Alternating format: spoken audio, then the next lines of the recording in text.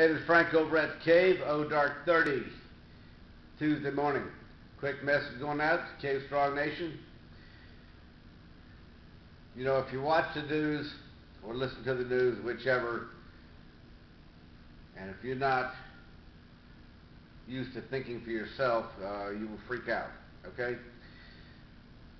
So here's the thing.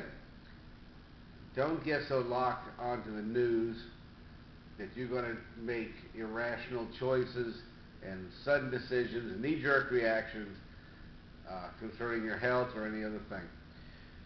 You know, I had a big report from World Health Organization about meat the other day. Okay, so what are you going to do about it? You need to think it through, okay? You need to think it through. if you're buying meat, are you buying junk meat, the cheapest you can find?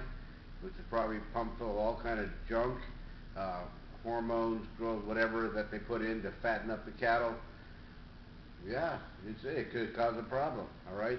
Now you're buying high quality meat, uh, like we get from Rose's Farms, grass-fed beef, free-range chicken, pork, etc., organic eggs, and those kind of things. I think you find it's a lot smarter choice. Okay. So don't always go for the cheapest and think you're going to be okay it's like anything else. You're not going to get high quality for the low price.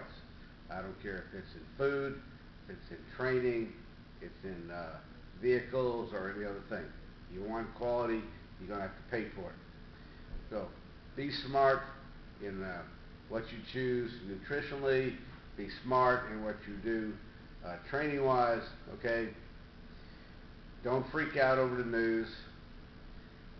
You know, you wait a while, another report will come out on something else that will seem like impending disaster, and uh, you know the sky is falling, all that kind of stuff. Stay calm. Use your brain for more than a stuffing for your skull. Okay, you got a brain. Use it, and uh, I think you'll find you'll be okay. Out from the cave.